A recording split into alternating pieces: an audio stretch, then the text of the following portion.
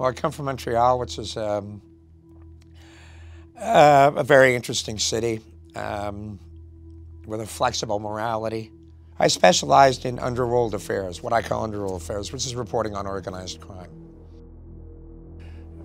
A contact of mine was doing time, about 13 years in uh, a federal uh, pen, uh, Drumheller, Alberta. And I just wanted to go out to see him, and uh, he said he believes there's a corrupt RCMP officer in Montreal. And somehow, out of my memory came a name, Claude Savoie, and he nodded at me. Claude Savoie was former head of the Montreal Drug Squad, who'd been promoted to co-director of the RCMP's National Intelligence Division. He'd gone from having his hand in the cookie jar to being in charge of the cookie factory. So he was pretty important. We had a lot of questions, um, and the more we pushed, the more pushback we got from the RCMP.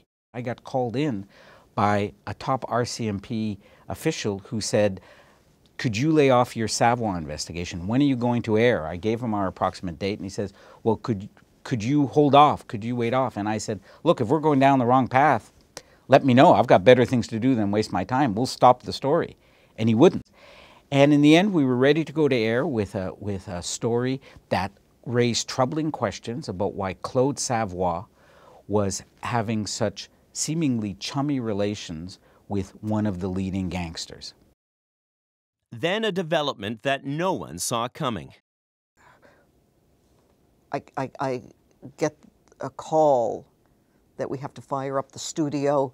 This is, this is less than 24 hours before we go to air. Inspector Claude Savoie committed suicide. Took out his uh, service revolver, took his jacket, wrapped it around it, blew his brains out. Oh, wow. Yesterday morning, Inspector Claude Savoie committed suicide in his office at RCMP headquarters in Ottawa. He left no note.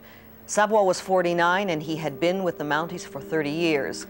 Late yesterday, the RCMP confirmed that Inspector Savoie had been under investigation for several months. Just having to go into a studio and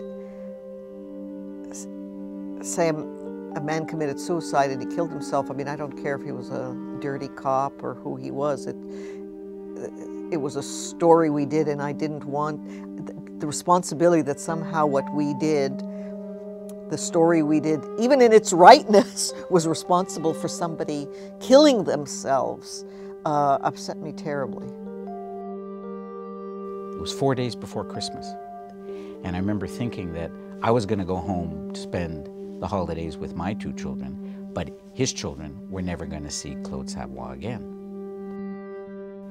And it also made me think, you know, the fundamental rule of, of investigative journalism. There's a, um, there's a Newfoundland judge apparently who, when uh, telling jurors what reasonable doubt means, he said reasonable doubt means you better be friggin' sure, only he didn't use the word friggin'.